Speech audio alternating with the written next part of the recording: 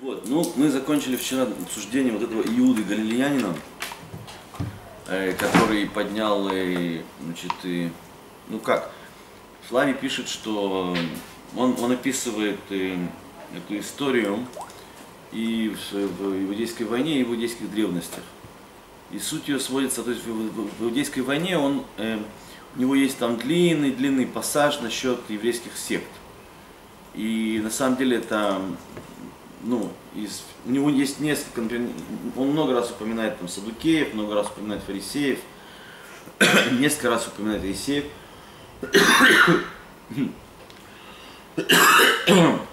Но, но в этом пассаже он наиболее пространно говорит о всех сектах.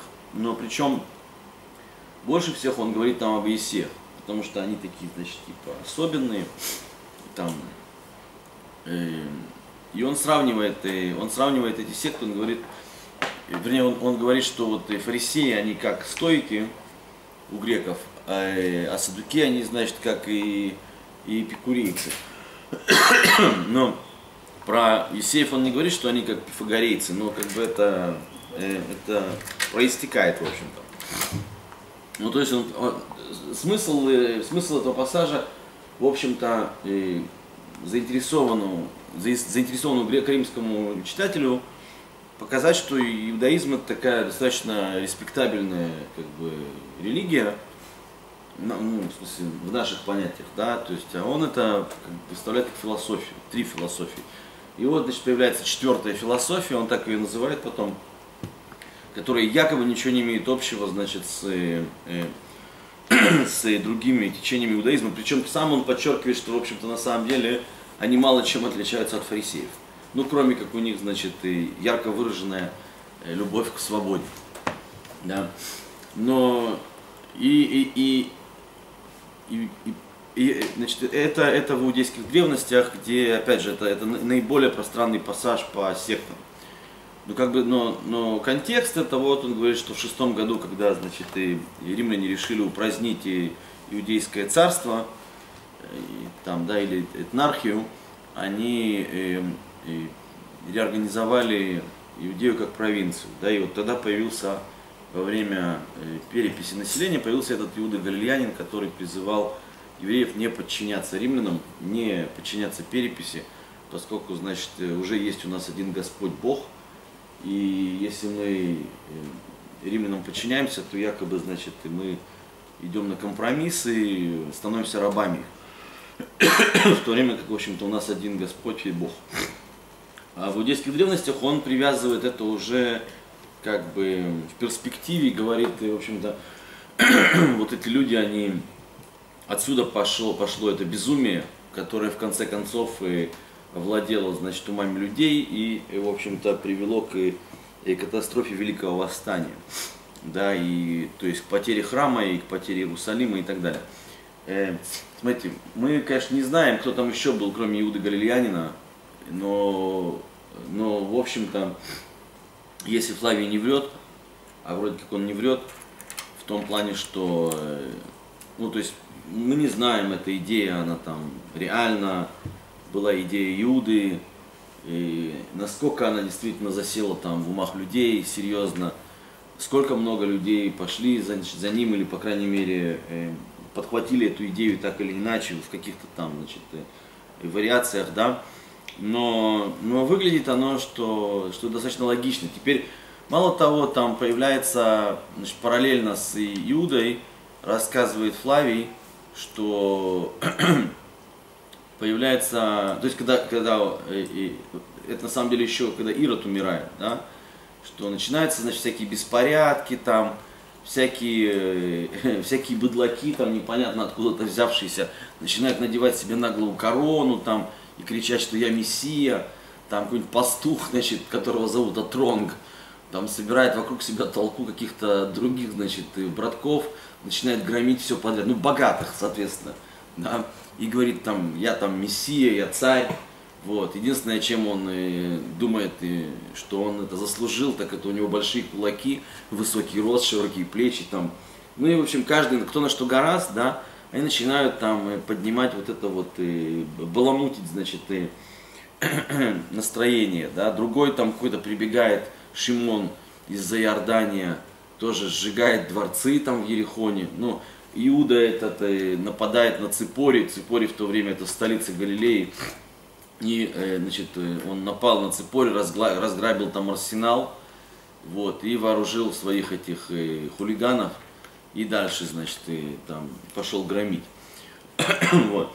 А, потом какое-то время мы ничего о них не слышим, да, то есть, ну, там наводится, опять же, соответственно, римляне вмешиваются, там куча евреев убита, куча евреев распята, порядок вроде как восстановлен, но, но, но в общем, об этом не стоит забывать. Э, И вообще, как бы первая часть, ну, то есть первая часть первого века новой эры, вернее, как первая часть, именно там до, там, там, это все очень просто разбивается. Шестой год, потом у нас, значит, 37 год, ну не 38 когда, 37 когда э, Калигула назначает э, внука Ирода, Агриппу первого, на царство. То есть и Калигула был, э, Гай Калигула был немножко сумасшедший человек. Он э, уже практически сам чуть не спровоцировал еврейское восстание. Потому что он решил, что он бог. Вот. Ну, то есть они все были боги, там, императоры, но он как бы реально в это поверил. Вот. И как бы обычно, ну, там был культ императора, скажем, и, и да, но, но там вопрос большой даже сейчас в науке, насколько реально там римляне думали, что император он бог. Ну, то есть они говорили об этом, они там ему поклонялись и все. Но как бы все-таки есть боги, которые там, а как бы вот этот тип, вроде, как он бог точно. Ну, то есть э, риторика это одно, другое дело реально, как воспринималось. А он реально решил, что он бог. Вот, и требовал почести. Причем, э, если другие императоры как бы понимали, и, и до, и после, в общем-то, у евреев был, э, было освобождение от культа императора. Есть они приносили за императора жертвы, да, два раза в день, но при этом они, они были освобождены от культа. И, и это императоры не... То есть, вот меня спрашивал вчера, кстати, Гриша, там насчет, вот, э, я сказал, что это и монотеистические религии, и они не толерантны, а политеистически толерантны. Так что ж, типа, римляне преследовали христиан? Ну, это одна из причин, потому что, как бы, культы эти, они гражданские также, в большой мере. Нет разделения между религией там, и политикой. И император, он как бы и правитель, и господин, и, и бог, да. Вот. То есть тот же самый Кюриос, окей, Господь. А тут, короче, какие-то люди, которые вроде не евреи, то есть у них нету освобождения от этого всего традиционно. Они говорят, они он вчера там поклонялся императору, а сегодня говорит, не-не, у меня другой Кюриос, у меня другой Господь. Кто, кто, кто, кто, кто, кто, кто твой Господь? А, он там чувак какой-то там, типа, которого на крест повесили, а типа, а за что? А он там это самое, вроде как ты говорил, что он царь иудейский. А, окей. То есть, типа, ну, как бы это совсем, ну, ну это, это звучит дико. То есть, и, как бы римляне по законам его распяли вроде как, да, за то, что он претендовал на царство, когда у нас тут империя. А вы в него верите, что он, типа, ваш Господь. Но это как бы уже проблема большая очень. То есть, у вас другой у вас типа другое государство. Вы, у вас лояльность вообще другая. Да? Вот. Так мы не знаем точно, что там происходило, да? Но, кстати, вот эта история, если уж мы про нее говорим с Иисусом, она очень хорошо вписывается и в другие истории, которые Флавий приводит. Да? А именно, то есть от, от, отойти от всех этих вот и, там, от метафизики, да, там, виноваты евреи, не виноваты евреи, там что произошло. То есть взять это просто в еврейском контексте, что там происходит. То есть э, римляне правят иудеи. Они там, во-первых, правят и правители, эти префекты, которые, а, они не из самого высокого сословия. Это сословие всадников, иудея, даже провинция, в которой войск нет. Ну, легионов, я имею в виду. Войска есть, но вспомогательные. И там даже вопрос сейчас стоит, я вот только что это слышал, но я как-то еще это не разбирал даже. В последнее время вообще там ученые говорят, что она стала провинцией не в шестом году новой эры, а непонятно где-то, наверное, уже в 30-х. Да? То есть якобы она вообще была часть, ну, то, что она была частью Сирии, понятно. То есть была Сирия, И там сидел, значит, и префект, который э, командовал легионами. И мы это знаем из разных историй, значит, и, и у Флавия, и вообще понятно. И он как бы был ответственный за Иудею. А в Иудее там сидели какие-то люди, то есть наместники, но это, часть из них вообще были вольноотпущенные рабы. Ну, то есть там был такой один тот и Феликс, и, ну это уже во второй, после, после Агриппа. Эм, тот же Понтий Пилат, который на самом деле понятно, что человек был достаточно, ну, как бы не сильно интеллектом отягощенный. И как бы это не только, в Новом Завете его пытаются оправдать, да, дескать, свалить всю вину на евреев, а он, значит, типа такой благородный, там, руки умыл, все дела, и, в общем, хотел Иисуса спасти. Но понятно, что это уже тенденции как бы авторов Евангелий, которые им, им, им, им как раз неудобно вот в этом контексте видеть, что значит, э, ну то есть сказать, что римский прокуратор очень сильно хотел Иисуса распять и, и значит это и действовал там хладнокровно, это как бы еще раз сказать, что его правильно, типа, ну, римляне будут это слушать и скажут, ну так все правильно, типа, распяли-то его. Че, в чем проблема-то? То есть это у вас проблема. А свалить вину на евреев и сказать, что это они сделали, значит, что получается, что, во-первых, они виноваты, а во-вторых, римский прокуратор, он, значит, и, не виноват, то есть получается, что, наверное, Иисус тоже мог быть не виноват, тут недоразумение получилось. Хотя это тоже проблема, потому что получается, что он был некомпетентен. Вот, то есть это палка о двух концах, но, но это то, что мы видим в Евангелиях. Но суть в том, что у нас есть другие истории про Понтия Пилата, то есть там из Филона, да, из Флавия, что он вел себя крайне неадекватно и провоцировал евреев и, значит, своими глупыми поступками, просто не вмешиваясь в разные вопросы еврейского закона без какой-либо нужды. Ну, то есть на, на это и Флавий там подчеркивает, что другие прокураторы так себя не вели. Ну то есть зачем евреев провоцировать и глупыми поступками, если, например, известно, что евреи не терпят в святом городе статуй, да, там, Зачем приносить туда там, штандарты с, э, с изображением императора? То есть, ну не приноси, как бы, что это так принципиально. Вот. И там потом начинаются беспорядки. То есть, э, я это к тому, что понятно, что э, это тоже очень сильно сыграло роль и, и в том, что потом евреи подняли восстание. В том плане, что были часть из этих э, правителей была абсолютно некомпетентна. Вот, и они, главной целью их было там награбить как можно больше, а если там, значит, еще потом беспорядки начнутся, так можно это как бы все, ну, они там... Он так и говорит, Флавий, потом про, одна, про последнего прокуратора, про Флора, э, который был конченый, значит, совсем, что ему выгодно было, чтобы евреи подняли восстание, потому что он под этот шумок мог, значит, все свои там, всю свою коррупцию как-то, значит, скрыть. То есть они там все друг друга поубивают, мы там тоже на, на них наедем, и как бы там уже никто никого слушать не будет, никакие жалобы там и так далее, это уже как будет нерелевантно, да. Вот. Но, э, но вот этот первый период э, до Агриппы, да, то есть Агриппа правил там с 37 по 44 э, год, ну там и, и в определенный момент на самом деле вся вот эта территория, включая Галилею и включая вон там э, территорию Филиппа, она к нему отошла. Но когда он умер, римляне не назначили, то есть было время в первом веке, когда Иудея была провинция, а потом она снова стала еврейским царством. И Агриппа был, в общем-то, последним еврейским царем. Но когда он умер, не, там был еще потом Агриппа II, но он не правил Иудеей, он как бы, у него были кое-какие полномочия в Иудее, но у него было царство на севере, там, совсем другом месте. Так вот, э, не совсем другом, часть он также правил вот территории Филиппа, но большая часть его была северной, его царства. Но Иудея уже была провинцией. Ну, в общем, я к тому, что мы знаем плохо, что там происходило в первой, э, третьей, скажем, первого века новой эры.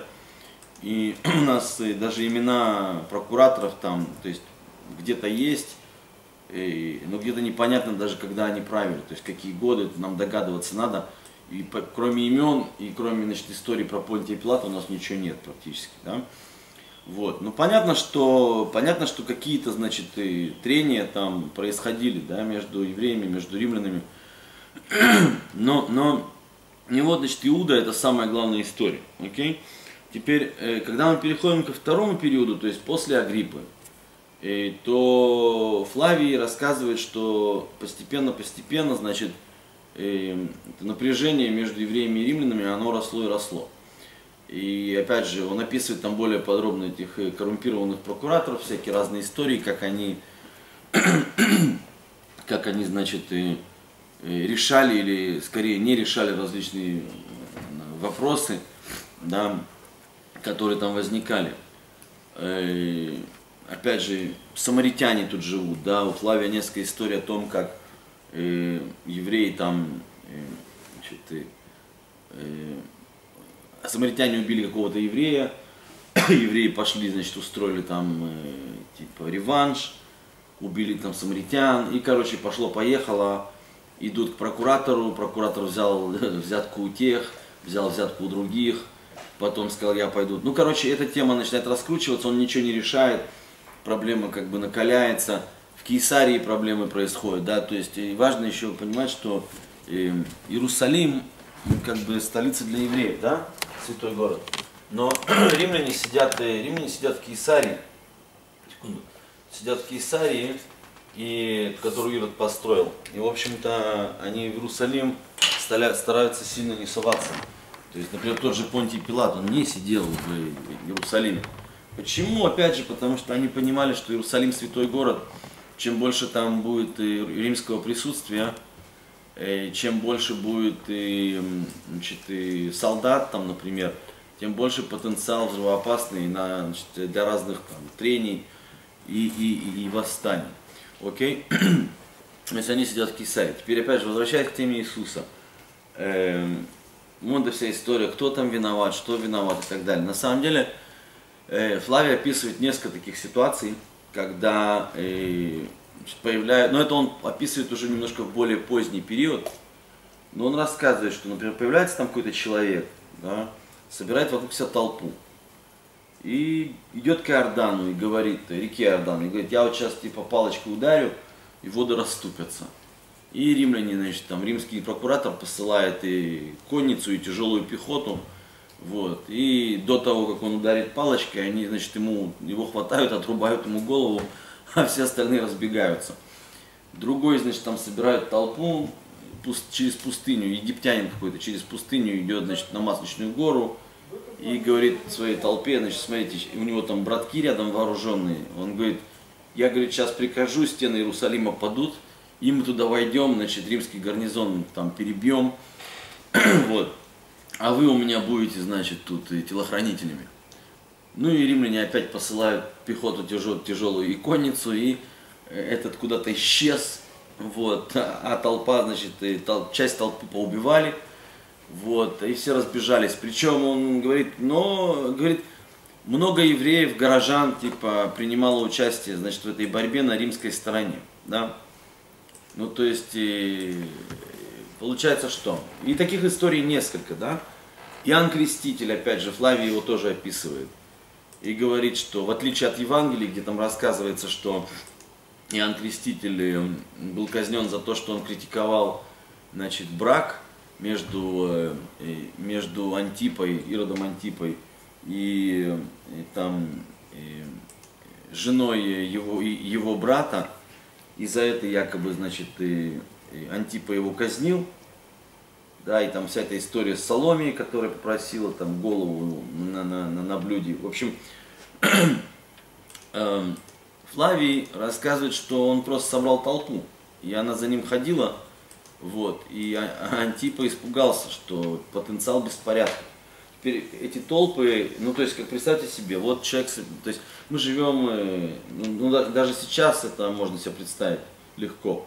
А представьте себе как бы мир, в котором там демоны, духи, там сатана, там, короче, всякие люди не знают, что такое болезни, почему они происходят, там, да.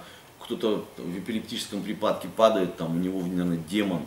И тут приходит какой-то такой товарищ, который говорит, у меня там силы всякие есть, да или люди уже поверили, и он действительно как-то там лечит их, да. Ну, то есть э, бывает так, что у людей психосоматические расстройства, и кто-то приходит там, крутой очень, вот, дотронется ему долба или чувак, значит, прозревает. Нет, а Вот. там они как-то описывают вот эти, ну, которые чудеса, там, что воду в вино, там всякие такие штуки. Ой, ну, ну это, ну, что? Как я понимаю, это Том вот тут, ну, то есть такой экстрасенс, да, это, в общем-то, профессия, не самоуважение, Колдун. распространенная колдун. Не, рас- распространенно достаточно. Евреи славились в виде, в, в качестве Ну, колдунов. это просто как бы такая профессия. Ну, во-первых, да, это, проф- ну, это скорее социальная категория, да. Это, то, если у него, конечно, хорошо идет, он Тогда может быть, профессия. ну да, тогда он, конечно, может этим жить, да. А так он может этим подрабатывать. Это То есть у нас есть другие истории, даже он там этот, есть такой э, Луциан, который рассказывает про кого-то, говорит, есть такой, говорит, один сириец из Палестины, который ходит там и бесов изгоняет за, за деньги. И он рассказывает, ну, ну, там короткий, короткий, короткий пассаж, вот в сборнике Штерна, в трехтомнике. Это, это, по-моему, не отсылка к Иисусу, да? Но, но у нас есть куча там магических папирусов всяких, в которых имя еврейского бога упоминается больше, чем другого любого божества. И э, евреи славились в качестве колдунов. Ну, то есть колдун, я когда говорю колдун, я не имею в виду что-то плохое, да? То есть это как бы факт, э, есть такая категория социальная. То есть человек ходит, там, лечит больных, говорит, там, и люди в это верят, да? И понятно, современные ученые э, согласны на 100% об одном, что Иисус прославился, ну, я не говорю то, что понятно, что он был, да, как историческая личность. Я не говорю, что там он на небо летал или там воскрес из мертвых. Это кто верит, тот верит, как бы историк это проверить не может. Но, э, но то, что он прославился излечением больных, это понятно. То есть люди верили, что он лечит больных. Что он там кон- конкретно делал, как он это делал, что у него получалось, это уже другой вопрос. То есть, что насчет воды в вино, это понятно, что это сказки. Насчет там, ну, может, они настолько были запудрены, что они в это поверили, что реально им показалось, что это вино.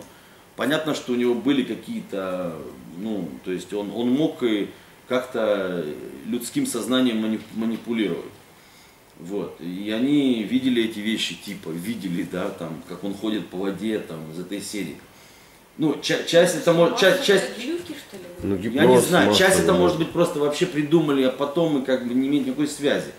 Но то, что там были какие-то люди, которых он лечил, да, э, то это понятно.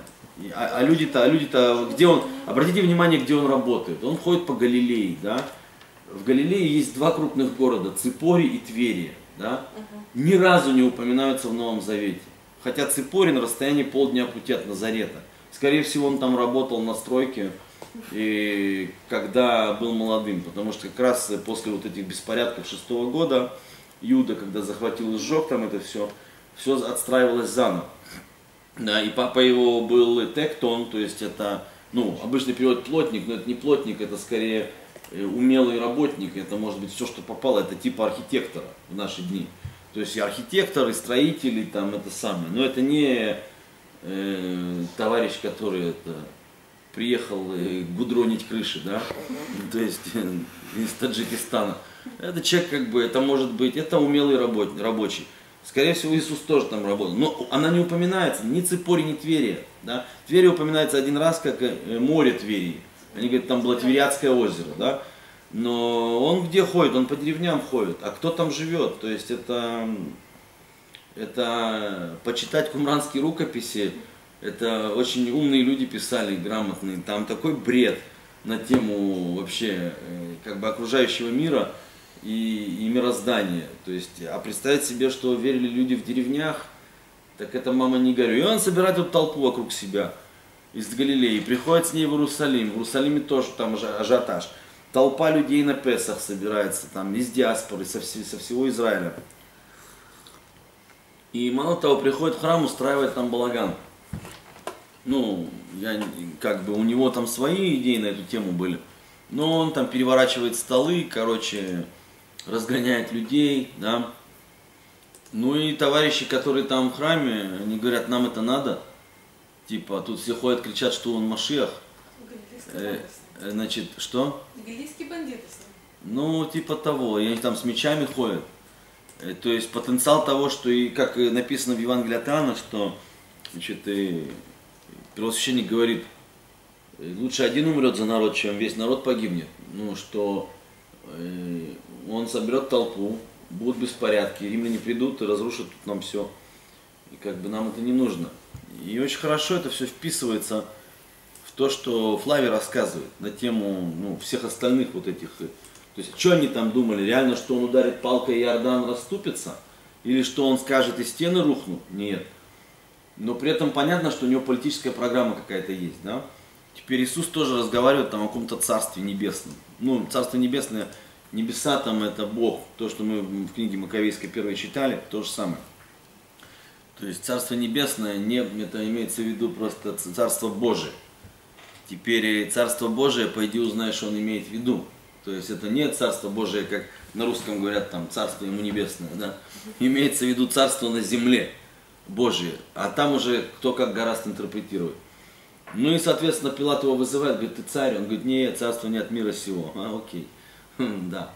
То есть, э, ну, и, и, то есть в этом контексте и надо все рассматривать, что нагнетается обстановка вот это взаимоотношений не очень хороших между римлянами и евреями. Причем еще один момент. Двое сыновей вот этого Иуды Галилеянина рассказывают, что их распяли там уже вот во второй половине, да, то есть после 44 года, кто правил там, был такой Тиберий Юлий Александр. Тиберий Юлий Александр вообще был еврей. Он был племянником Филона Александрийского, но он как бы вроде оставил иудаизм. Что реально там было, мы не знаем. Но так Флавий, значит, и говорит. И он был прокуратором какое-то время, но при этом э, Флавий говорит, он, он все было спокойно, потому что он не вмешивался в потом, да. Но до этого он был э, прокуратором Иудеи. И он, э, правильно, не, он был действительно префектом Египта, потом он командовал всем э, войском э, римским в Иудее. То есть он непосредственно ответственен за разрушение храма. Но, но суть в том, что он, Флай говорит, все было спокойно, потому что он не вмешивался в еврейские значит, законы, поскольку он их знал. Ну да. Зачем ему надо было типа провоцировать евреев и потом самому эти проблемы расхлебывать? Но он распял двух сыновей этого Иуды. Я так полагаю, что точно так же, как и Иисуса, их сдали. Вот. То есть, эм, потому что зачем это кому надо? Ну и э, э, э, дальше Флавий рассказывает, что появляются всякие вот эти шарлатаны, параллельно, значит, с зелотами там и сикариями всякими. Сикарии кто такие, как Флавий их описывает, сика это меч, такой изогнутый на латыни. Что один из прокураторов, э, под- который был коррумпированный, подкупил э, там каких-то бандитов, чтобы они грохнули первосвященника. Потому что первосвященник на него жаловался. Он сам типа его сначала рекомендовал, а потом оказалось, что прокуратор коррумпированный, так этот первосвященник э, ему как бы стало, он чувствовал, что он ответственность значит, несет за то, что он его рекомендовал. И стал значит, на него там писать всякие жалобы. Тогда этот прокуратор э, пошел, нанял этих бандитов, и, значит, это самое, ам, грохнули его за бабки. Им понравилось. Они теперь можно это как бы сделать профессией. И они стали ходить и мочить кого попало. То есть там друзей, там врагов, там. И Флавий говорит, вообще невозможно было к людям на улице приблизиться, потому что они подходили там, а, привет, братан, там, где-нибудь на празднике. Они, они просвященника-то в храме убили во время праздника. Вот, то есть э, подходят там тебе в храме, там толпы людей, там не поймешь кто. А, и говорит, они, говорит, пырнут кого-нибудь, тут же под полы одежды уберут кинжал и громче всех орут. Что значит, что за такое, что за беспредел? И говорит, никто уже не мог разобраться, что происходит. Вот. И они, значит, начали там этим заниматься за деньги сначала, потом просто валить кого попало, кто им не нравится. Вот. И полный, значит, бардак начался в стране. Ну, понятно, что он немножко преувеличивает все это. Но, э, ну, как бы, где-то так, наверное, оно похоже было. Потом появляются всякие, значит, фанатики, которые начинают кричать, что этот, и давайте вообще избавимся от Рима и так далее. Да. Параллельно эти колдуны всякие, которые ходят там и рассказывают всякие басни, что вот я дуну, там стены падут, вот, и так далее. Теперь, э, по ходу, э, это э, безумие, это реально начинает овладевать люди- лю- людьми, потому что доб- добавьте к этому всему еще то, что я рассказал про эту апокалиптическую литературу. То есть люди читают все эти истории про то, что вот там, а, а все к чему сводится там, что, что Рим, дескать, падет скоро, да, ну то есть что Теперь смотрите, я вам дам пример, например. То есть тут, тут нельзя ни в коей мере э, э, э, как бы преуменьшать религиозно, ну, важность религиозного фактора. Вот мы из Флавия даже знаем, да, кто, вы все книгу Даниила читали, нет? Ну, как бы сам, читаю, не читаешь, расскажу. Там есть такая седьмая глава, где рассказывается, что видел Даниил такое видение. Да, это единственная книга апокалиптическая, которая вошла в тонах. И она написана-то была как раз во время Хасманейского восстания. Вот. И там разговор идет как раз именно о Хасманейском восстании. Но это все завуалировано, закодировано. Вот. И люди, когда во время Флавия это интерпретировали, они, они же это интерпретировали по-иному. И там идет разговор о том, что вот он, у него было видение, он видел четыре значит, страшных зверя, которые являются на сцену там один за другим, он описывает их эти ужасные какие-то монстры, а потом э, значит, появляется некто, кто похож на человека, да, Кибар и наша. Э, и он идет с облаками небесными, и, значит, и, и э, вечными днями, там, под, подходит он к вечному днями, да, и вечными днями там дает ему силу, могущество, там, власть, и которая вечная, там, и она не придет, там, туда-сюда и так далее. Да? И, и, и потом оно интерпретируется, говорит, что этот э, Бары Наша, это на самом деле народ Израиля. Ну, то есть эти все империи там идут одна за одной, потом они все падают, и вот, значит, народ Израиля в конце будет править миром. То же самое рассказывается во второй главе, где там Навуходоносор, в той же книге Данила, Навуходоносор видит, значит, и сон, где стоит огромный истукан, и у него там, короче, из разных металлов тело состоит, ноги там из глины и так далее. И вдруг огромный камень там падает, разбивает его в прах, и ничего от него не остается.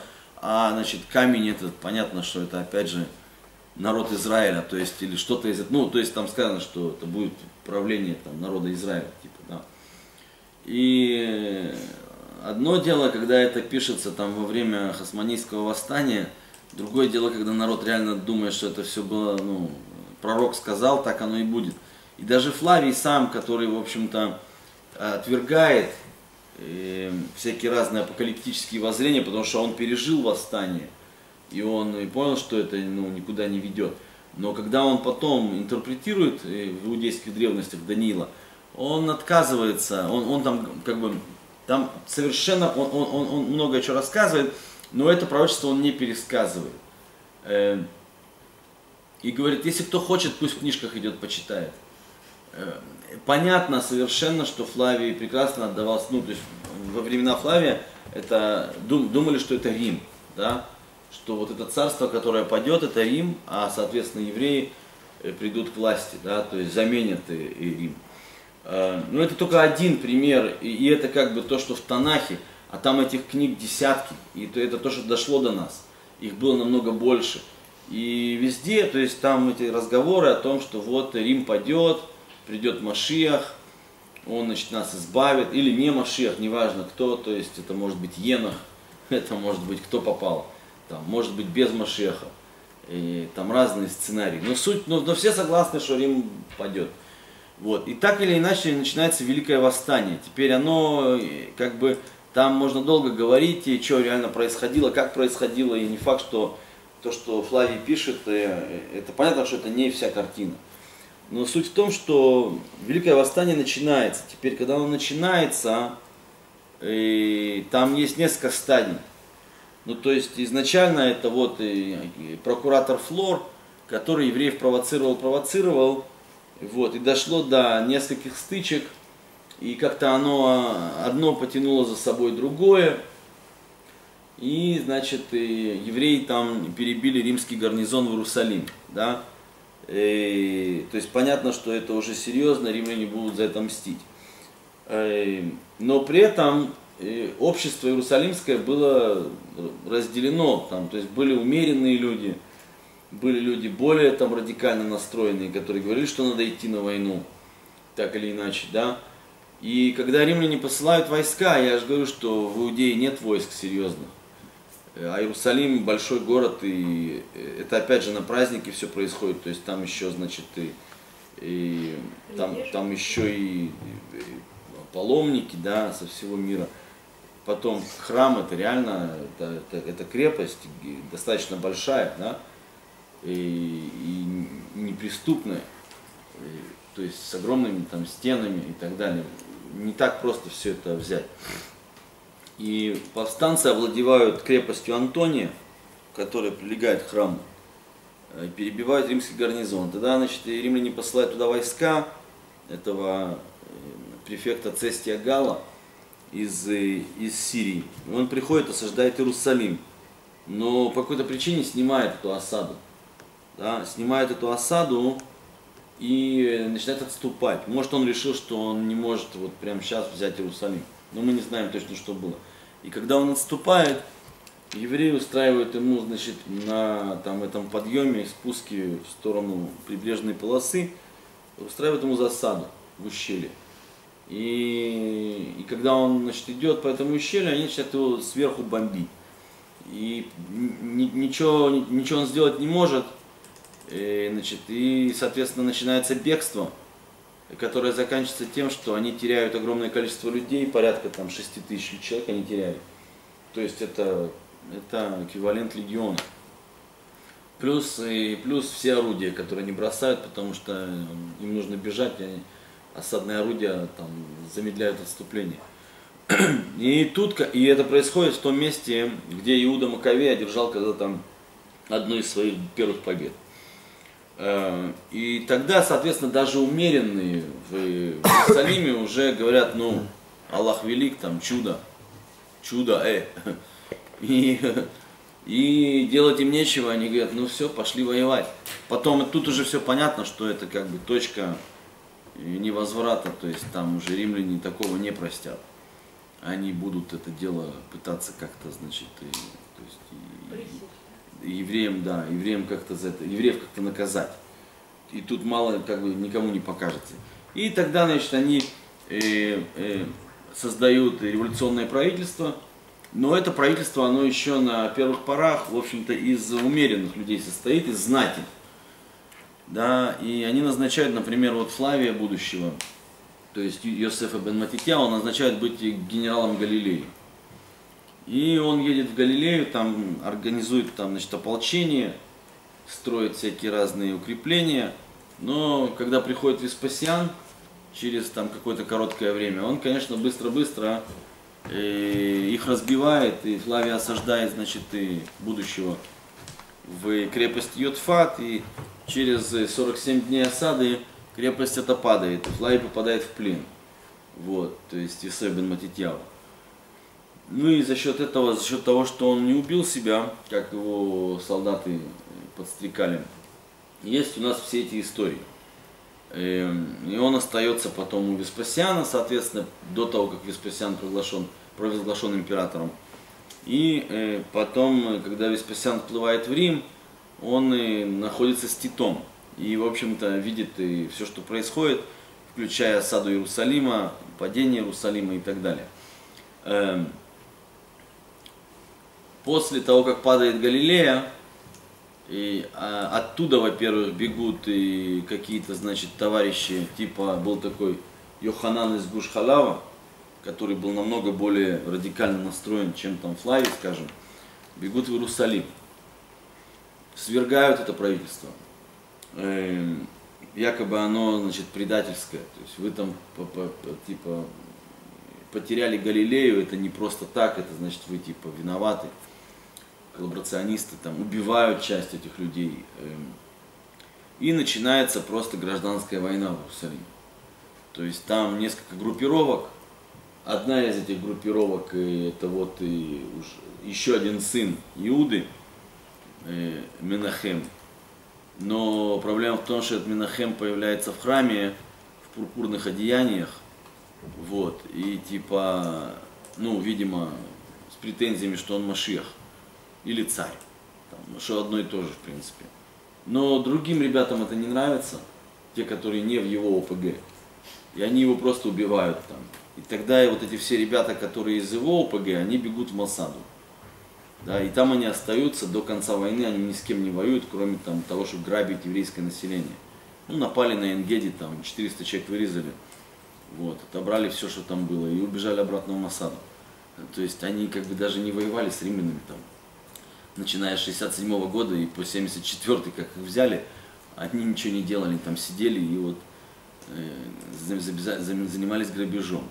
И теперь, э, кроме этого Минахема, там были еще всякие, вот этот, у Юханана из Гушхалава была своя банда, да, был там потом еще появляется, так вот, там есть этот Лазар один, да, который тоже руководит определенной группой. И, и, и потом появляется еще, еще Шимон Баргиора. И вот они, значит, и там один внутренним двором храма, значит, он там э, забаррикадировался, второй, значит, храмовой горой, а третий остальным городом. И вот они все эти годы, 67 и по 70 и по весну 70 они просто там долбят друг друга. Они ни с кем не воюют, там римляне тем временем после захвата Галилеи, Иудей э, и Веспасиан практически в ходе 68 года захватил всю Иудею уже, да. Но тут и умер Нерон, так он решил, э, что что я буду рыпаться, непонятно, кто там будет императором сейчас. Да и потом евреи там, ну он же знает, что там происходит в Иерусалиме, да, ему доносят. Евреи там друг друга убивают, и пусть поубивают еще чуть-чуть, я пока никуда не спешу, посмотрю, что происходит. И в 69 году, этот год так называемых четырех, так называемый год четырех императоров, когда четыре императора сменились, то есть Нерон, потом был Отон, Гальба, Вителий, да, а потом уже Веспасиан. И вот когда он приходит к власти, кстати, провозглашают его египетские легионы под командованием Тиберия Юлия, Юлия Александра. Флавий пишет, что иудейские, но это неправда. Потому что у нас есть папирусы из Египта, где понятно, что это легионы под командованием Тиберия Юлия Александра, кто провозгласили его. И, соответственно, Веспасиан отплывает в Рим, Флавий остается, значит, ну опять же, я говорю Флавий, но это он еще все, Йосеф бен Матитьяу. Остается с Титом, Тиберий Юлий Александр получает главную команду, значит, над римскими армиями в Иудее. И они идут, типа, за, за, э, уже, типа, э, э, брать Иерусалим. И только в 70-м году, то есть весной, они подступают к Иерусалиму и, соответственно, его осаждают. Да? Эм, ну, дальнейшая история, она очень э, печальная, да, как вы знаете, чем она, она знаете, чем она кончается. Вот. Но, что важно, что только тогда, когда римляне подошли к стенам Иерусалима, то есть весна 70-го, где-то апрель, эти группировки объединяются между собой, начинают воевать с римлянами. До этого они все время воевали между собой. То есть 67-го и по 70-й они только друг другом там, там еще, значит, идумеи прибежали, эти идумиты, ну то есть эти обгиюренные, 20 тысяч человек, которых там обманули, и они, значит, там поубивали кучу людей, а потом поняли, что, в общем-то, ничего, ничего не поняли, что зря поубивали. Ну, в общем, полный, полный хаос там царит. И кончается это, конечно, падением Иерусалима и его разрушением. И там куча, куча еврейских жертв, и страданием и так далее. Вот. Но я к чему-то говорю, что все это рассказываю, что три автора в один голос утверждают следующее. Да? И э, они, и, э, секунду, я лучше вам это процитирую.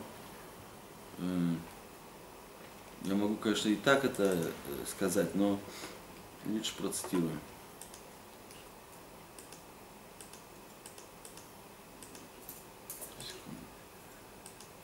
Флавий приводит всякие разные, значит, и, и истории, эм, э, пророчества разные, да. Эм, ну, говорит и э, говорит и следующее. Секунду.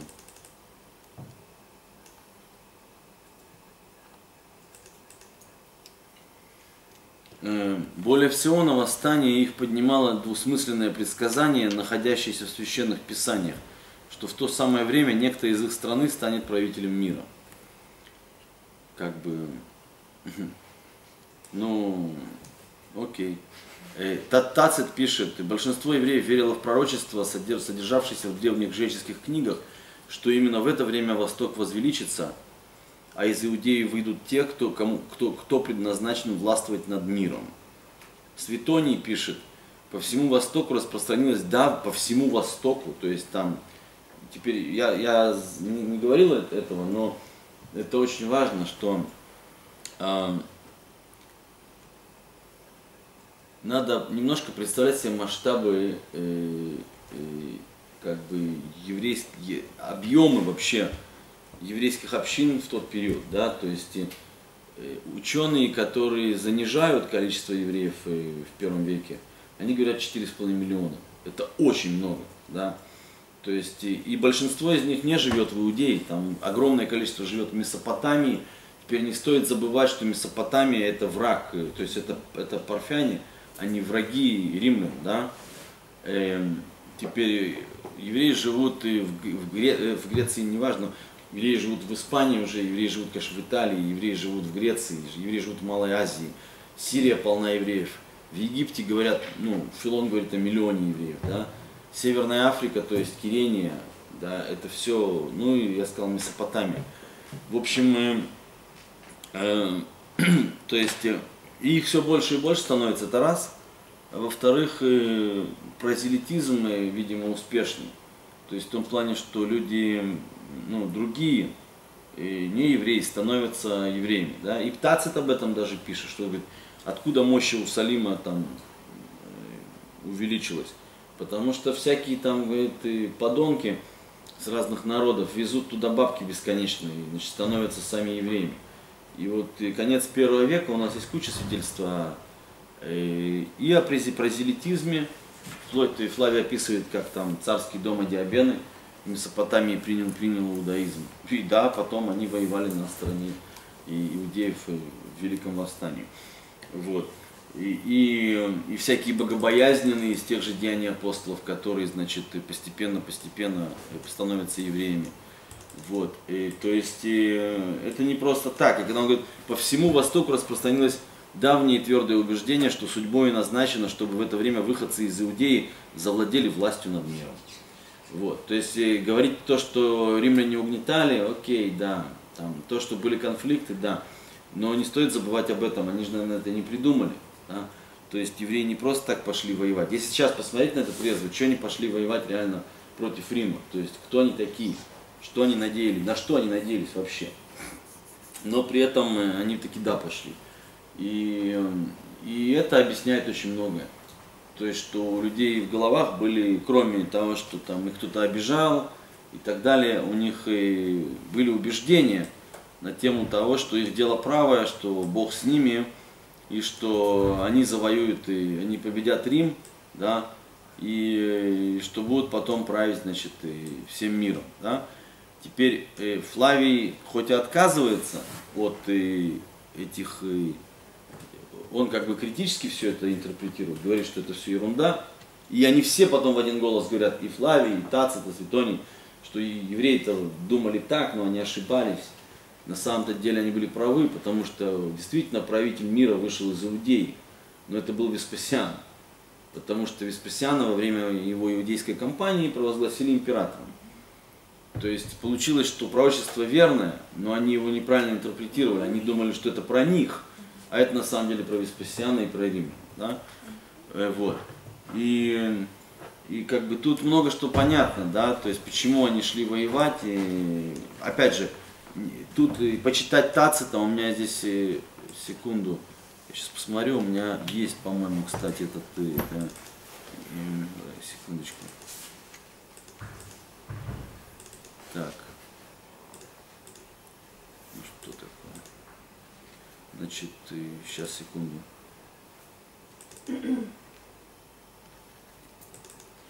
Эм, По-моему, нет, это не в этом томе, к сожалению. Ой, жаль. Э, у меня просто этот том Штерна, у меня есть один том на, на русском, но тут нету Тацита. Э, есть на английском, но неважно. Э, Тацит описывает, Тацит, знаменитый римский историк второго века новой описывает падение Иерусалима. Ну, у него есть такая книга истории. И он там, значит, рассказывает, всякие разные, о разных событиях. Ну и говорит, мы пришли теперь к эпизоду о падении великого города Иерусалима. Дайте-ка я вам расскажу чуть-чуть про евреев, кто же они такие, откуда взялись. И он собирает там разные, значит, истории, конечно, в основном не, не, не, не негативного плана насчет происхождения евреев, то есть всякие египетские там и так далее. Ну, и, и, и описывает также их обычаи и так далее. И в том числе говорит, что вот, значит, и, они, говорит, и, поскольку верят в загробную жизнь, то, ну, я, я на самом деле тут стату привожу, кстати, даже в силабусе, что души погибших в бою казненных врагами они посчитают бессмертными, отсюда их презрение к смерти. Ну, то есть это вот, пожалуйста, вам эти, которые Аллах Акбар, 72 девственницы, я пошел, взорвался на небеса, а мама его, значит, хлопает в ладоши, я тебе устрою сегодня, типа, большую вечеринку, партий, и будем праздновать, потому что ты же там. И это как бы, смотришь на это, и вроде как это дико, да, то есть как это так, это, они там празднуют, радуются. Вот. Ну, конечно, они верят, если в то, что они реально в это сильно верят, так им абсолютно по барабану, там, что погибнуть, не погибнуть, так это же как бы... И нам-то, может, это сложно себе представить, но это реально так. То есть люди, которые в это сильно верят, к тому же друг друга еще подогревают, то им действительно ничего не страшно. Вот. И, и Тацит это говорит про евреев. да? Эм, то есть эм, надо, опять же, надо понять, что тут все очень сложно. И, и, и не, не, не, не преуменьшать то есть, того аспекта, что тут еще идет гражданская война. Да? Великое восстание это в большой степени гражданская война. Теперь я тут говорил кое-что про сионистские идеологии всякие. И как интерпретируется то, там, то, это, то, там, всякие разные аспекты древней истории. Э, опять же, великое это восстание никогда великим-то не называлось. Сионисты придумали в последние там сто лет, да. Почему? Потому что, ну, э, ну, нужны были новые герои, да. Иудаизм еще, буквально у нас осталось там 35 минут, я сейчас поговорю про восстание диаспоры и про восстание Баркохвы, и что произошло после этого, да. То есть как иудаизм изменился – но говоря в двух словах, иудаизм, те люди, которые остались, то есть те евреи, которые остались, э, я имею в виду элиты, конечно, и э, там мудрецы, да, мыслители, они отошли от этих милитантских позиций напрочь. То есть они отказались напрочь от вот этого вот, э, ну, от позиции конфронтации, да. И что там они сделали, тоже другой вопрос, там в себя ушли там или нет, это как бы уже не важно. Суть в том, что они отказались от вот этого вот милитантского подхода, да, э, и подумайте, что у нас как бы один Бог, да, и если мы э, думали, что воевали на его стороне и проиграли, значит, наверное, мы ошибались, значит, наверное, мы не совсем мы делали то, что он хотел. Потому что если бы мы делали то, что он хотел, так мы победили. Потому что он же крутой, он же один, он сотворил небо и землю, там, он, все остальные не боги, да, то есть он же контролирует все. У Флавия одна из главных тем в иудейской войне это где был Бог. И он рассказывает о том, что потому что евреи друг друга убивали, там лили кровь невинную, да, осквернили этим храм, то Бог э, стал гнушаться ими и ушел, значит, к римлянам. То есть они его оттолкнули, они его, значит, и, и спровоцировали своими грехами и перейти на сторону римлян. Это не то, что его победили, это не то, что его дом разрушили. Это был его дом когда-то, но он ушел оттуда давно, потому что евреи плохо себя вели. И вот этот момент, то есть когда один Бог, пойди объясни, что это ты проиграл войну. То есть ты всегда должен в конце концов сказать, что, наверное, где-то я согрешил. И понятно, что мудрецы, интерпретируя и Великое Восстание, и там потом другие восстания, которые были, для них эти повстанцы были где-то, ну, в большой степени грешниками. Да?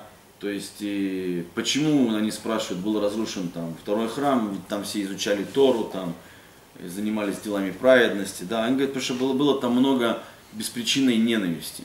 Ну, то есть, и там, как бы друг друга ненавидели, да, брат брата убивали, и за это Бог и, а, а, значит, отошел от евреев и, и дал, у меня батарейка села, дал этот храм значит, римлянам, чтобы они разрушили его. И поэтому, поэтому мудрецы последующих поколений, они отошли от этих позиций. То есть для них эти повстанцы никакими героями не были. Они для них были как раз и людьми, которые, в общем-то, согрешили. Да? Тот же Баркохва, да? несмотря на то, что мы еще поговорим, что там было в его время, но уже в раввинистических источниках он описывается как человек, э, с одной стороны, значит, там, типа, э, э, исполинской силы, с другой стороны, такой богохульник, да, который, э, ну, Богу говорит, типа, не вмешивайся в наши дела, мы сами там справимся, такой надменный э, человек, и никак не богобоязненный, никак не праведный, там, убивает мудрецов, значит, которые ему что-то противоречат и так далее.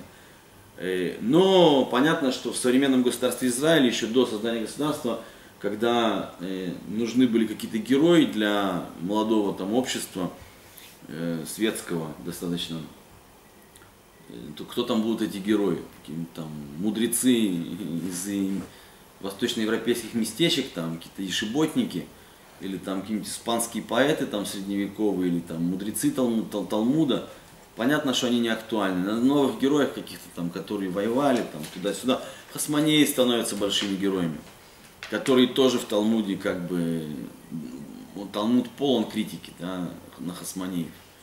Э, вот. И, опять же, повстанцы там всякие становятся героями.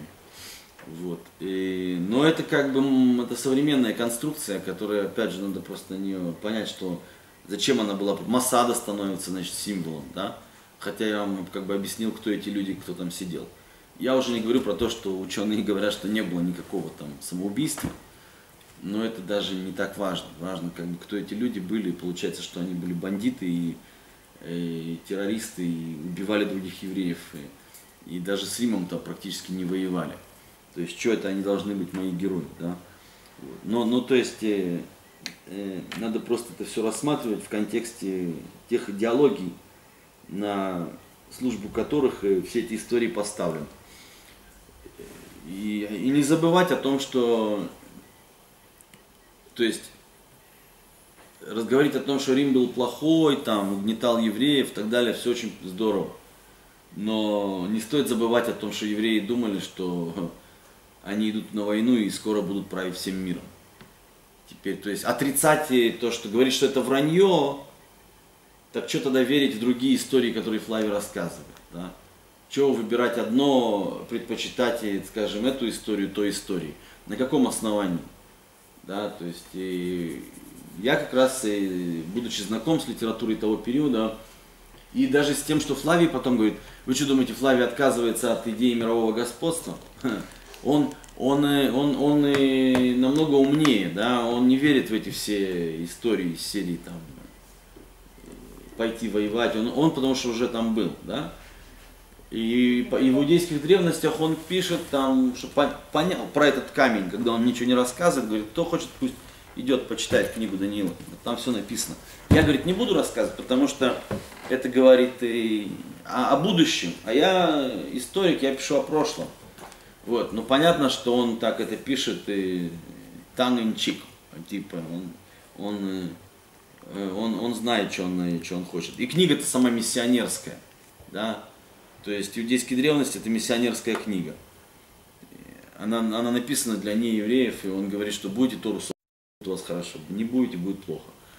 Вот. И где-то в то же самое время консул там один, Флавий Климент, и близкий родственник императора Домициана, опа, и принимает иудаизм вместе со своей женой. Там вполне был шанс, что он мог бы стать императором. Я не знаю, связано это с Флавием или нет, возможно, что да. То есть и, есть ученые, которые полагают, что ничего такого типа в этом невозможного нет. Да? И теперь и, и, и, как бы и, и в то же самое время римские императоры продолжают Флавию платить ей пенсию, типа а он сидит и пишет там миссионерские значит, книги в Риме, в, в доме, в котором когда-то жил Веспасиан. Ну, они туда его поселили. Вот. И, и другие там римляне высокопоставленные тоже принимают иудаизм. Да? Эм, То есть и Флавий потом пишет и в, против Апиона, это его последнее произведение, говорит, и, а закон, говорит, привлекает людей сам по себе. И не потому, что там кто-то что-то за это платит, да. Ну, говорит, ты посмотрите, везде вон там люди свечки зажигают в шаббат уже. И наши законы о еде распространились по всему свету, и также вопросы субботы, да, говорит, и, а говорит, кто не верит, так глаза открой, посмотри вокруг. Ну, то есть, если бы он этого последнего не сказал, то можно было подумать, что он очень сильно преувеличивает. Но поскольку он так открыто это говорит, что типа возьми да проверь сам, посмотри, понятно, что он не врет. То есть действительно иудаизм был большой-большой силой в конце первого века новой эры. И, в общем-то, кончилось все тем, что ну, одна из разновидностей иудаизма, в общем-то, э, Римской империи таки да, овладела. И в IV веке, как вы знаете. То есть, и, то есть все эти разговоры, они были не напрасны. И, и, и действительно подумать, что это они, они пошли против Рима воевать, ну как бы где там можно сравнить эти десятки легионов, и, которые только тем занимаются всю свою жизнь, что воюют, и их обмундирование, и их, значит, ресурсы, да, и все остальное, и где там евреи. То есть, и, ну, но евреев зато есть куча фанатизма и вера в то, что, значит, и, и, что Бог, Бог их главный, и это самое, и мы победим. Эм, теперь на этом же все не кончается потому что буквально через несколько десятков лет евреи диаспоры поднимают другое восстание. Про это, про это восстание мало кто что знает и мало говорят.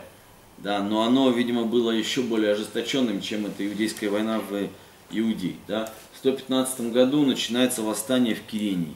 Кирения это современная Ливия. И опять же, у нас наши свидетельства очень-очень-очень скудные.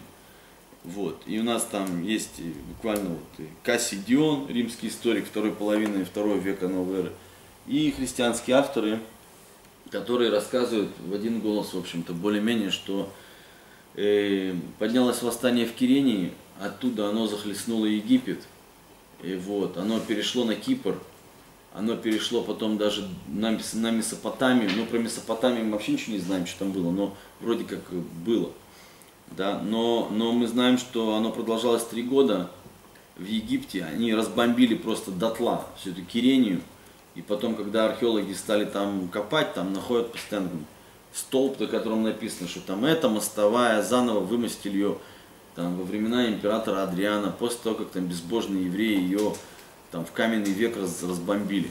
Этот храм был восстановлен там тогда-то, тогда-то, после того, как евреи там безбожные его сожгли.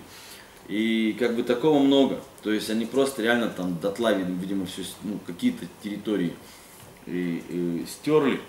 И в Египте еще три года это продолжалось. И рассказывают там жуткие всякие истории.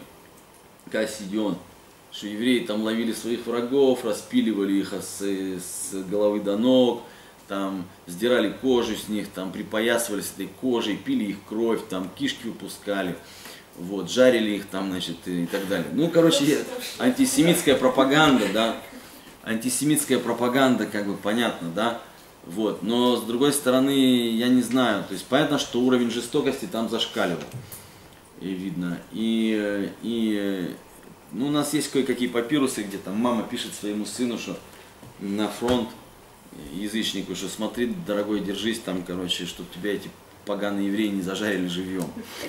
Вот, ну то есть, ну может это, может это, конечно, там выдумки все, и вы знаете, как это на войне, но, но, но факт, что... Будьте здоровы. Факт, что эта война продолжалась три года, да, и мы знаем, что евреи одержали несколько побед, вот, и евреи разбомбили Кирению, и в Египте там война шла очень долго. Ну, то есть три года это, это, это, это долго. Пока римляне не послали уже, значит, там серьезные войска и подавили это восстание. Теперь подавили его, конечно, жестоко, практически э, всех евреев э, уничтожили. Да? И, и у нас есть другие папирусы, ну, кроме того папируса, что жарят, жарят живьем, есть папирус, который там, он где-то 200 года новой эры, где египтяне там еще 80 с лишним лет спустя празднуют День Победы над евреями. То есть, видно, серьезно, серьезная война была и серьезная победа, если они еще так долго это праздновали. Но евреев там практически не осталось. То есть я вам говорил, что ну, Филон говорит, что был миллион евреев в Египте в первом веке. Да, а тут получается, что всех постирали с лица земли. То есть это достаточно, достаточно был такой, ну, трагический, в общем-то, финал, поскольку э, ну, невозможно переоценить, в общем-то, важность э, еврейских общин и э, тех районов, да, то есть большая часть идеи эллинистической литературы, которая до нас дошла, ну, прежде всего Филон Александрийский, но далеко не только, там, часть, часть того, что вошла в, даже в православный католический Ветхий Завет, такие вещи, как «Премудрости Соломонова», например, это книга, которая была написана в Египте.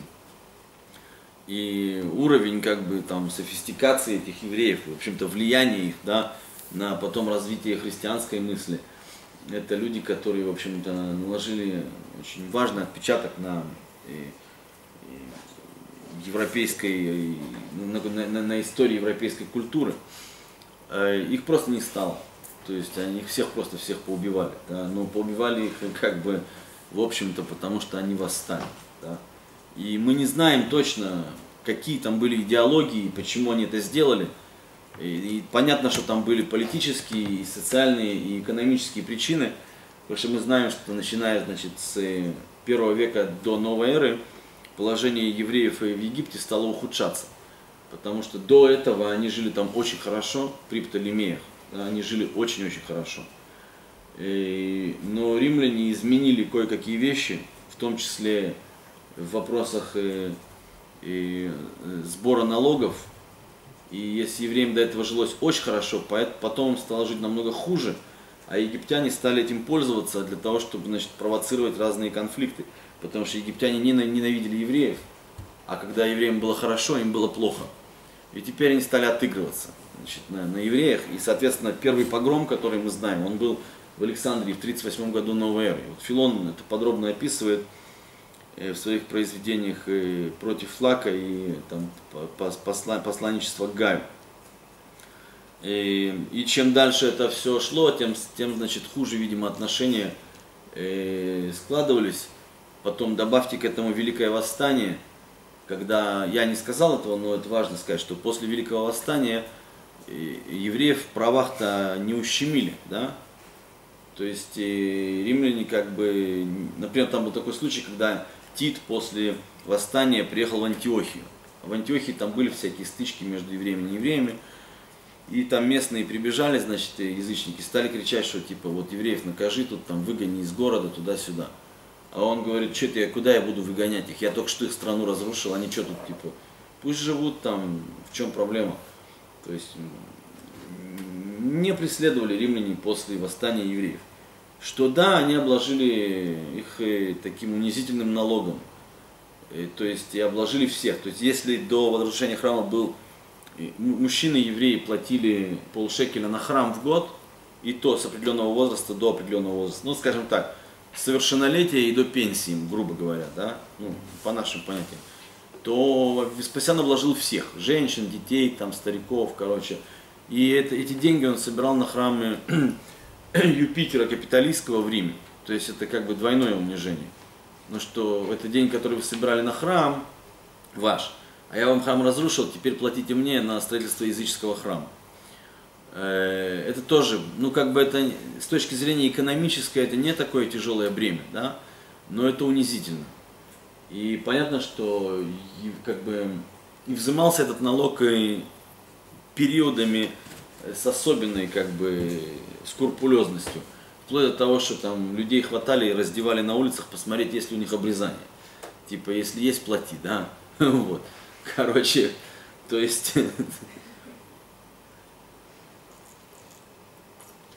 Эм, но это, это дело заглохло достаточно быстро.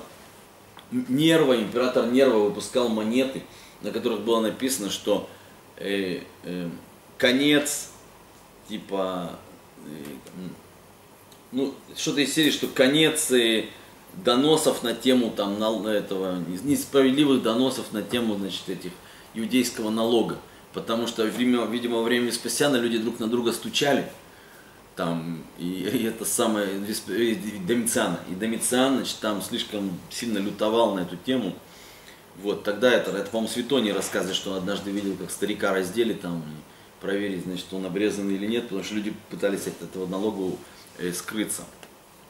Короче, э, восстание это приводит к... А, я забыл сказать, что христианские авторы пишут, что, что там, и, и языческие тоже, да, что были там у них цари, окей, то есть там у этих товарищей в Египте и в Кирении были, значит, как бы цари какие-то. Один говорит Лукас, другой говорит Андреас, и там какой-то Артемион на Кипре.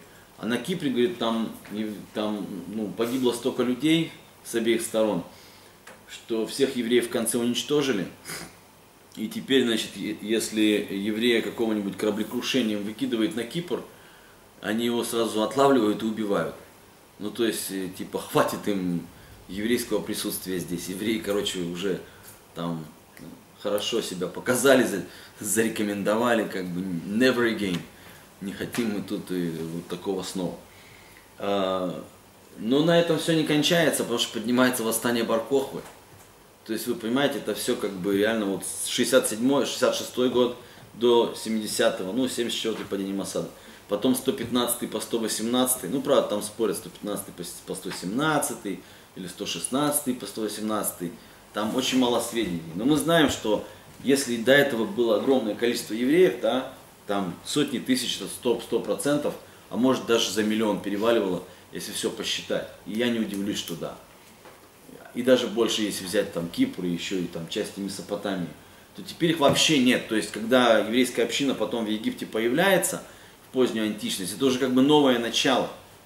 Вот есть сборник этих египетских папирусов еврейских, их три тома, сейчас там и люди работают, мои коллеги над четвертым томом, потому что ну, эти тома изданы в 50-х, 60-х годах, то есть сейчас уже новые вещи есть. Там просто больше нет ничего. То есть следующее, что появляется, это вот уже поздняя античность. То есть там перерыв несколько сотен лет, потому что больше евреев нет там.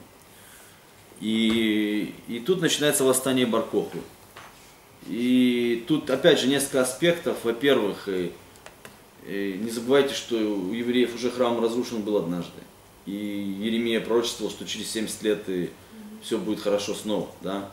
И эта парадигма, мы знаем, что евреи не просто же так говорят, о, этот храм был 9 значит, и Ава разрушен, и этот 9 хотя не 9 но там он типа 8 по-моему, да, но суть в том, что как бы подтасовали уже, чтобы сказать, что это, это чудо, это чудо, все же не просто так, это же Бога, да, ну понятно, если это от Бога, значит все потом вернется нормально, когда мы обратно будем, значит, праведными, вот, и эм, евреи ждут, что римляне храм им построят обратно, разрешат, и как бы в этом нет ничего нелогичного.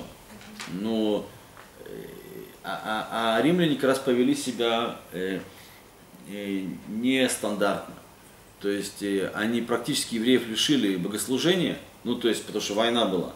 Но было бы логично, чтобы они обратно евреям типа через какое-то время сказали, типа, давайте стройте снова, там, мы же люди.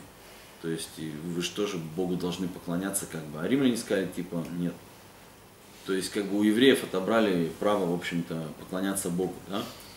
И мы не знаем, почему точно началось восстание Баркохвы, но если посмотреть, это где-то примерно так и получается, то есть это 30 лет, и еще 30 лет там уже, 62 года про- прошло. Э, И авторы древние, которых не так много, опять же, тот же Евсевий Кисарийский и э, э, Кассидион, они пишут разные вещи.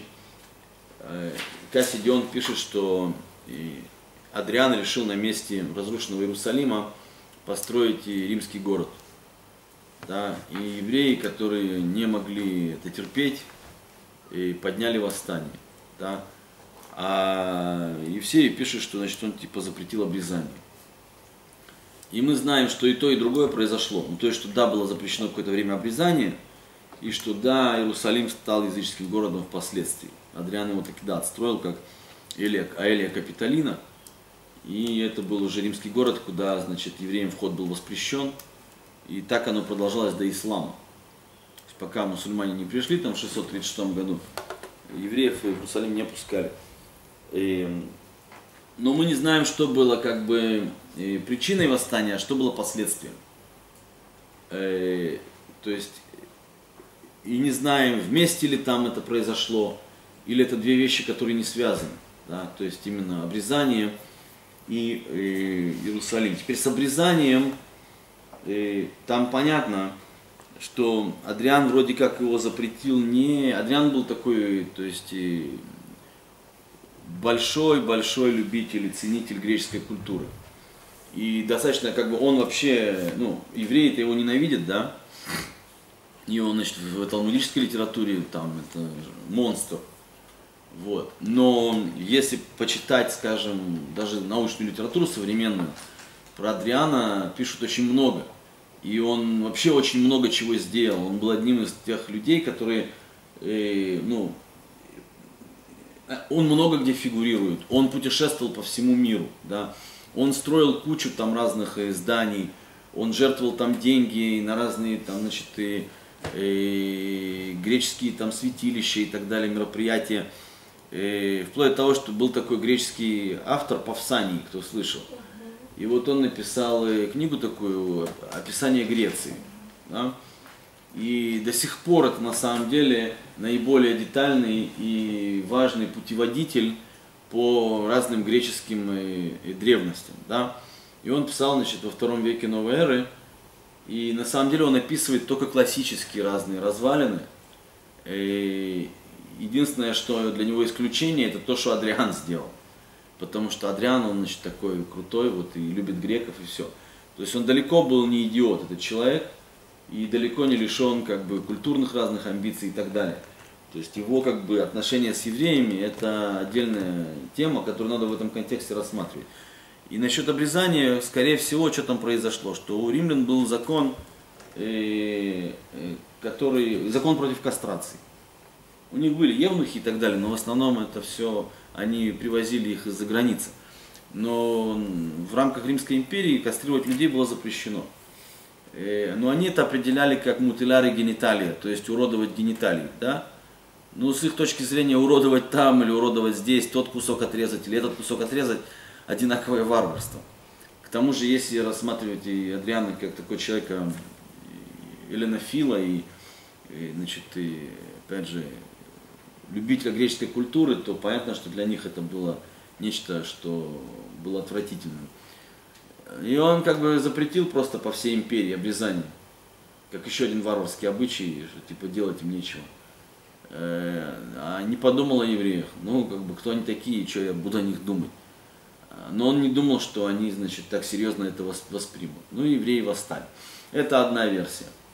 Другая версия, что он вот начал Иерусалим отстраивать как языческий город, и евреи поняли, что вместо того, чтобы, значит, нам храм вернули, сейчас и, и снова, значит, то есть мало того, что храм не вернули, так сейчас еще Иерусалим начинает отстраивать как языческий город, то есть у нас вообще шансов никаких нет его получить обратно. И они поднимают восстание. Опять же, я говорю, мы не знаем точно, что как было, мы знаем, что Иерусалим стал языческим городом, и мы знаем, что какое-то время было запрещено обрезание. Вот. Но евреи так или иначе поднимают восстание. Но стоит тут обратить внимание на следующее. Две вещи. Первое, что мы не слышим, опять же, у нас очень мало свидетельств, да, что да, это как бы чудо такое своеобразное, что у нас есть письма, письма самого Баркохова. То есть ученые, вы, эм, археологи, вы и бедуины изначально в Иудейской пустыне обнаружили письма, которые либо были написаны самим Баркоховой, либо были продиктованы. Ну, по крайней мере, они, они, они от, от его имени написаны. Вот. И это как бы автографы, это не какие-то копии там или что-то, это оригиналы. То есть это, это его письма, там, его полевым командирам и так далее. И его там всяким разным, значит, и соратникам и распоряжения там, связанные с ведением войны, там, празднованием праздников, и логистикой разной и так далее. Но опять же, из них мы узнаем что-то там о реалиях, но у нас нету как бы Иосифа Флавия, который описал бы нам восстание Баркохвы и э, что там реально происходило. У нас, да, есть некоторые талмудические реминисценции, да, в том числе одна история, которая, в общем-то, настолько, она как бы, она не, она не льстит. одному из э, важнейших вообще мудрецов э, э, всех времен, Раби Акива, да, то есть Раби Акива это, о, это очень серьезная фигура. И рассказывает про него в Иерусалимском Талмуде, в трактате Таанит, что когда Раби Акива видел э, Бен Кузбу, да, то есть, вернее, Бар, Баркозиву, да, то есть мудрецы его называют э, Баркозива, что значит сын лжи. Э, а Баркохва мы знаем, это Евсевий Кисарийский пишет, что он, значит, был разбойник и бандит, а на самом деле втулял этим рабам, ну, Евсевий очень сильно любит евреев, что, значит, втулял этим рабам, что он звезда, которая сошла с небес и несет им свободу. Ну, а потом он, значит, потерпел крах и, в общем, наказание за свои грехи и так далее. Но на самом деле его именно, имя, видимо, было Барку, Бен Кузба или э, э, э, э Бар Кузба. Э, по-гречески там транскрипция это Хосиба. Э, в общем, э, когда Раби Акива видел э, Бар, э, Баркозиву, то он говорил э, «Ха Малька Машиха», то есть «Вот ты царь Мессия». А там другой мудрец э, ему отвечает и говорит, Акива говорит, у тебя сорняки прорастут через щеки, а говорит, сын Давида все еще не придет. Ну, то есть, ну, с одной стороны, Раби Акива такая большая фигура и такая уважаемая, что приписывать ему такую, как бы, ну, такую, такое заблуждение, если бы такого не было, было бы вообще как бы зачем? Зачем его компрометировать и к тому же прийти приписывать ему какие-то какую-то, какие-то глупости, да? Что все же теперь знают, что Баркохова никакой не Машех, поэтому и прозвали его сын лжи, то есть он типа рассказывал, но не доставил. Вот. И, и, и, видимо, так оно и было. То есть, и, видимо, действительно, если уж Раби Акива думал, что он Машех, то, наверное, поддержка, поддержка мудрецов у него была. Да? И, и, и мы не слышим ни о каких там, типа, э, э, там, ни о какой борьбе, да, между разными еврейскими группировками в те времена. Мы, э, наоборот, вроде как народ сплочился за ним, да, сплотился за ним. И, и, и, и от того же Кассия Диона мы слышим, что э, евреи, значит, пока Адриан был поблизости, они, значит, не восставали. Но как только он ушел там подальше, они подняли восстание и вели, значит, партизанскую войну. И выкопали там, значит, в земле разные норы с дырками для вентиляции, там, с маскировкой и так далее. И там по этим ходам ползали, нападали на значит, римлян, потом снова убегали под землю. И так эта война долго-долго-долго шла до тех пор, пока, значит, Адриан, а Адриан даже боялся вступить с ними в открытую битву, такую э, глобальную, поскольку знал, что они отчаянные, и поэтому будет тяжело. И поэтому они просто отлавливали эти значит, отряды и истребляли их один за одним. И потом Адриан там ведет перечень, сколько людей погибло там, да, сколько там сел разрушено, и, и сколько там погибло от эпидемии и, и голода, это вообще неисчислимо. Но говорит, что и римлян, говорит, тоже много, говорит, в этой войне полегло. Поэтому, говорит, Адриан, когда Значит, там у них было стандартное приветствие, э, по, когда император заканчивал войну, он и обращался к Сенату. Да, и стандартное значит, приветствие было, если вы и дети ваши в добром здравии, то я и легионы в добром здравии. Ну и Кассидион говорит, что он опустил формулу насчет там типа в добром здравии. Потому что, видно, римлянам тоже досталось немало. Вот. Но кончилось это тем, что э, все это ушло. Да? То есть, если Иерусалим был потерян до этого, и храма не стало, то теперь и Иудею потеряли полностью. Да? То есть Иерусалим был потерян полностью, и запрещено туда евреям входить. И Иудея вся, в общем-то, стала, и, и, и мало того, что она, все еврейское население было истреблено и погибло там, да, от голода и эпидемий, и продано в рабство – так и ее переименовали в Палестину. Да? Окей. Теперь у нас осталась там минута, мы подведем итог, и я как бы скажу, чем, чем, это все кончилось. А кончилось это тем, что ну, произошла эпохальная перемена в иудаизме. Да? Что именно произошло, что мудрецы уже, то есть первый документ, понимаете, один факт того, что э, вся литература периода второго храма не сохранилась у евреев. Да? Евреи ее просто отвергли, я имею в виду последующих поколений. То есть все, на чем мы сегодня базируем, на чем вообще этот курс базировался, там, Маковейские книги, Иосиф Флавий, там, Филон, про которого я рассказывал, и многое-многое-многое другое, это литература, которая сохранилась у христиан. И по большей части в переводах, либо если по-гречески была написана, так иногда по-гречески. Но евреи от этого всего отошли. И можно долго думать, почему, как, зачем, но главная эта причина именно потому, что шок вот этого всего, этих катастроф был настолько велик, что он спровоцировал очень глубокую рефлексию над тем, э, что делать дальше. И, и как дальше жить, и, и что, ну как вообще выживать, и, и что там, как с Римом себя вести, да, в том числе. И вот эта апокалиптическая литература, которая там кричит о том, что придет Машиях, там всех, значит, нас спасет, Рим там э, падет, отсюда выйдет ну, человек, который будет править миром, да, это все мудрецы как бы, это все отвергли. Не говоря о том, что, как я уже сказал, что все эти герои, там Баркохва и повстанцы, они никакие не герои. Они, наоборот, люди, и, э, и, с которых, и, э, при, ну, а, с примера которых можно выучить только одно, что так делать нельзя. Да? То есть это то, что мы должны понять, что они не правы были, и что как они себя вели, это не тот путь, по которому надо идти.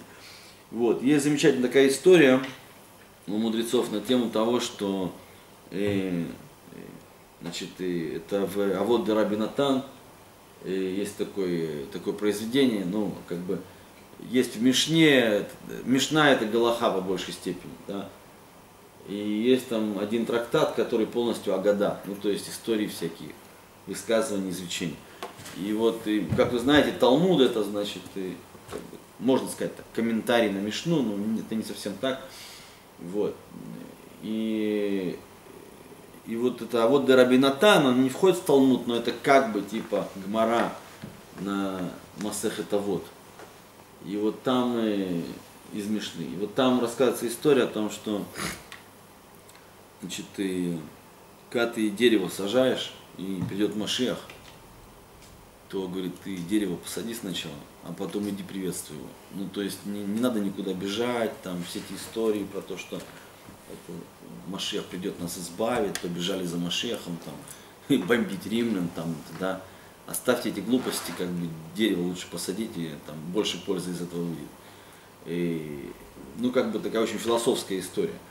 Ну и действительно все меняется, то есть, в общем-то, иудаизм раввинистический это совсем новая парадигма, которая отказывается в корне от вот этих вот позиций, да.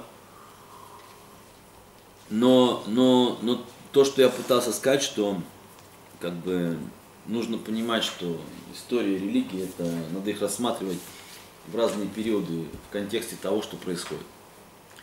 И если по большому счету посмотреть, то да, в общем-то, иудаизм э, периода второго храма, понятно, что не весь, понятно, что не везде, но в некоторые периоды, особенно если брать вот конец первого века, начало второго, первую там, скажем, половину, да, ну это была достаточно милитантская как бы э, религия, э, система и достаточно такой ну, воинственный народ, который, у которого были серьезные очень амбиции, вплоть до, в общем-то, мирового господства.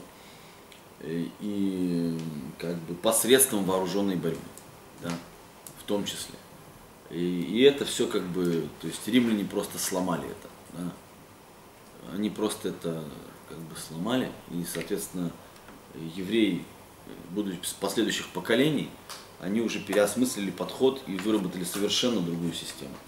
То есть, потому что нужно понять, понимать, что тут произошел слом эпох, да, и что раввинистический иудаизм это совсем-совсем уже другая система. Не то, что там нет преемственности, конечно, она есть, там, и там, там много чего. Я говорю именно в отношении вот, и, взаимоотношений евреев и империи.